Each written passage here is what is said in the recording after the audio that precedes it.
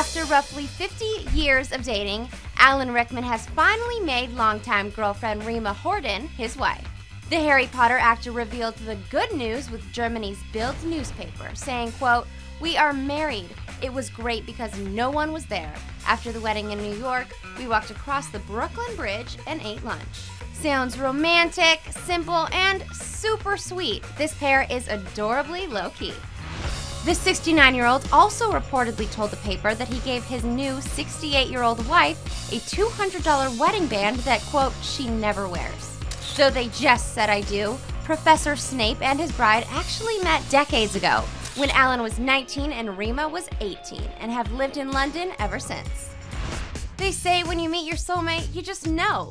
It just took Alan 50 years to put a ring on it, but who's counting? Congratulations to the newlyweds.